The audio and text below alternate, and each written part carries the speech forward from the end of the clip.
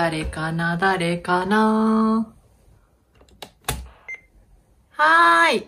ミミさんのお家ですか？あ、そうです。ミミさんにお届け物です。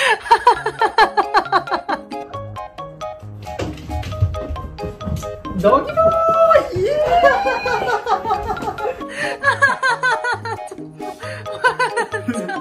ドギボだね、ミミちゃん。ん？ミミちゃん、ドギボが来たよ、ドギボ。今月もドギボックスが来たよ。ー何かしら。この箱、見覚えがある。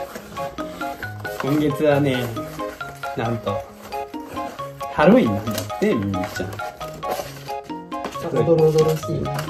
今回はね、ちょっと、なんか、怖いね。ミミちゃんちょっとなんかリアルじゃない？ヌルスタジオえ、ちょっと怖い。なんか、え、怖い。骸骸骨らしいよ。いやゾクゾクワクワクするハロウィンの夜でやってきたとっても怖いけどちょっぴり気になる丘の上にある暗い一軒家お化けが住んでるって噂は嘘本当？というテーマだそうですねえー、怖い。えミミちゃんえ、骸骨？なんかかぼちゃとかかと思ってたらね、骸骨だったね。ねうーん、ちょっと、お母さんハロウィンあんま好きじゃないんだ。ミミちゃん退治して。それねえちょっと盛り上がりに欠けてない？ちょっと。この子ちょっと盛り上がら ない 退治しないとこれ。お化けだからねお化けなのかこれ。骸骸骨。骸骨か。やださて、で、みーちゃんの大好きなおやつの方なんですけれども、話題今回はででん鶏ささみフレーク。岩手、青森県で飼育された若鶏を粗くミンチにして乾燥させたジャーキー。低カロリーで良質なタンパク質たっぷりなささみをご堪能ください。えー、それから、次が、発酵野菜パウダー。本当だ fermented vegetable topping って書いてあるよ。52種類の野菜、果物、野草、海藻を、あ、なんか外れた。いや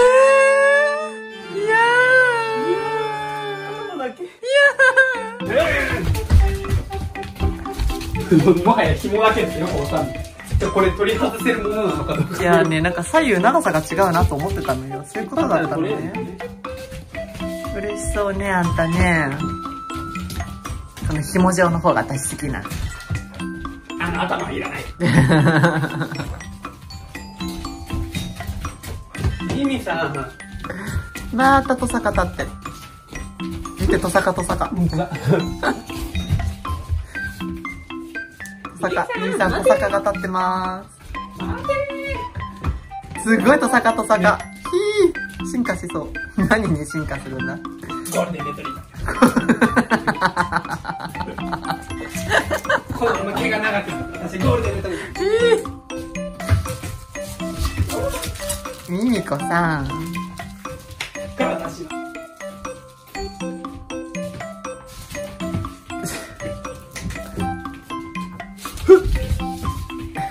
ミミさん、せめて引っ張りっこぐらいしようよ。お父さんちょっとなんかパンツやらないら見えてますよ。パンツ。店パン店パン。店パン本見込み。ミミコさん。じゃあそんなことなしてる間に最後のもう一個。いいよ。ちょっとちゃんとカメラにするように。もうちょっと右。右右。それから最後の一個がね、豚のハツ。秋田県産の豚の心臓を使った。秋田県産の豚の心臓を使った、こ、小町なハツ。小松菜なんか小松菜のお友達秋田小みたい。町のなあーね。何それ。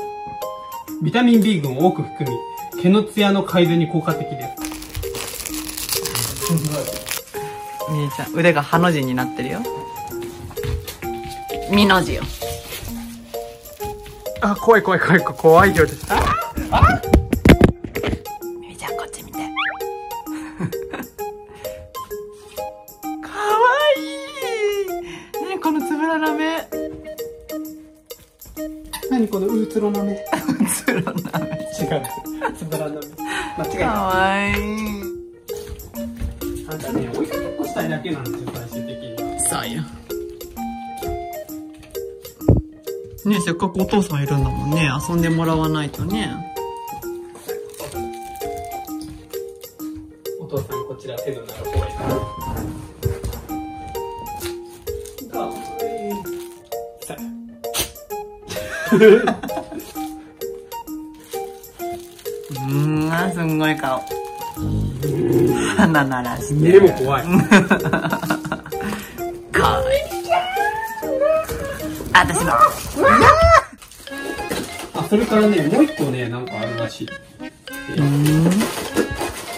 おやつじゃなくてね犬用食器洗剤っていう。食器洗剤だって耳これオレンジオレンジの皮とねパームパームパーム油パーム油。パームオイル。ペット用優しいクエン酸など天然の成分を使用した犬用食器洗剤。ねえー、みーちゃんもこれでさお母さんのお手伝いができるよ。え。そうじゃあこれを舐めてもいいってことね。それはどうなんでしょうね。うん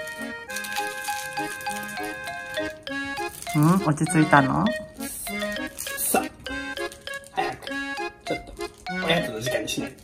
さっき言ってたささみとか豚の心臓とかちょっと食べてみたいわどんな味なのか。しらねそれでは実食編へゴー！バタってなんでバタって。えー、みみちゃんほんと今日可愛いに一段と可愛いよ今日。なんで？なぜかしらあら美味しそう。チキンささみフレーク。うん今日はチキンささみフレークで優勝していくことにするわね。高野菜ミックスってどういうこと？腐った野菜。違う。ピーピー。腐った野菜じゃないでしょ。エンドウのねもやしが入ってタンポポ入ってるって耳ポポンタ私の大好きだよ昆布も入ってるへえんかいろいろ入ってたね。すごいよだってね。天才とリンゴ人参大根キャベツセロリ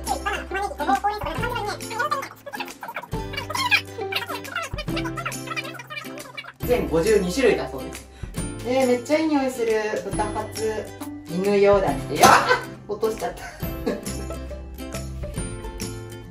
みーちゃんあんたよかわい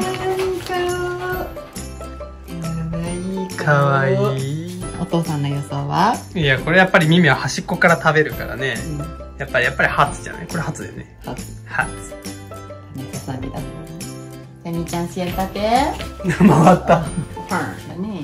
ダメだなーの。ダラなーの。ダメだなーの。ダラなーの。今日上手じゃん。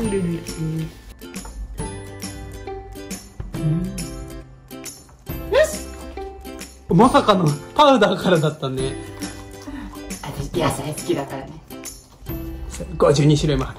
私全部味の聞き分けができるミミってほんとさ野菜も全部残さず食べるもんね。それそれが。マナーってもんや。